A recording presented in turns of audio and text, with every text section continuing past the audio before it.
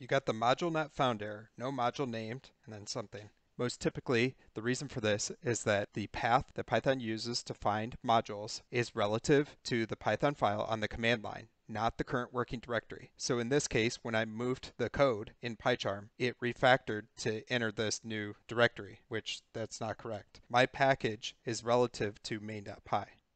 Let's see how we got into this situation. From here, this works fine. My package has an init.py and it has the library code here. From here, it works fine if we just invoke it this way.